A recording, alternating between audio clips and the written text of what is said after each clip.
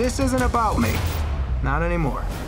You might have thought Spider Man Into the Spider Verse is a movie about Miles Morales learning how to be a superhero, but that's only part of the story. This upcoming animated movie features no fewer than six different versions of Spider Man, including familiar faces like Peter Parker and a few you may have never heard of before. Here's a quick rundown of all the major heroes and villains in the new trailer. I'm the one and only Spider Man. At least that's what I thought. He may not be the only Spider Man in the movie, but Miles Morales, voiced by Shameik Moore, still looks to be the star of Into the Spider Verse. In the comics, Miles debuted in 2011's Ultimate Comics Fallout number 4, where he took up the mantle of Spider Man after his world's Peter Parker was killed. In the movie, Miles is the only living Spider Man in his world at the start. The trailer also features two important members of Miles' family. His father, Jefferson, is a heroic cop who has little love for costume vigilantes. Zip zap zop in his little mask and answers to no one. His uncle Aaron, voiced by Mahershala Ali, is a role model in Miles' life, at least until Miles learns about Aaron's criminal side. The trailer briefly shows Aaron as the costumed criminal The Prowler, and in the comics, he also wears the Iron Spider costume, which you might remember from Avengers Infinity War. The movie will also feature Jake Johnson as the voice of the classic Peter Parker Spider Man, who debuted way back in 1962's Amazing Fantasy number 15. You're like me. That's impossible. This Peter is older and more seasoned than the MCU Spider Man, and it looks like he'll be a mentor to Miles. Time to swing. Ah, Good, you're doing it. Double tap to release and whip it out again. Okay. Next up is Gwen Stacy, aka Spider Gwen, voiced by Hailee Steinfeld.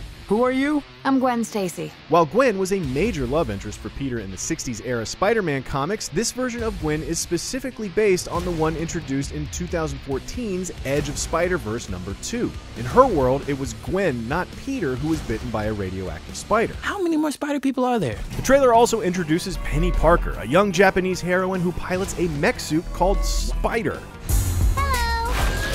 Peni was introduced in 2014's Edge of Spider Verse number 5 and was actually co created by none other than My Chemical Romance frontman Gerard Way. On the darker side of the spectrum is Nicolas Cage as Spider Man Noir, Hey, fellas. A character first introduced in 2009's Spider Man Noir number 1. He comes from a version of the Marvel Universe set in the Great Depression and is one of the only Spider Men to carry guns in battle. Then there's the weirdest member of this Spider team, Peter Porker, the Spider Ham, who's voiced by stand up comic John Mulaney. This could literally not get any weirder. It can get weirder.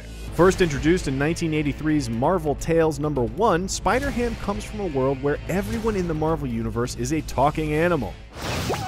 Now, this is strange. The trailer reveals that at least two other major Spider Man villains will appear in the film. The Kingpin, voiced by Liev Schreiber, looks to be one of the main antagonists of Into the Spider Verse, You're gonna love this.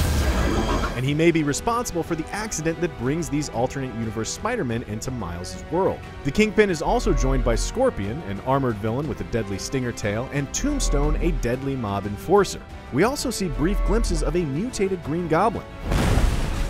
Will we see full blown Sinister Six in this movie? We'll know for certain when Spider Man Into the Spider Verse swings into theaters this December. Do animals talk in this dimension? Because I don't want to freak them out.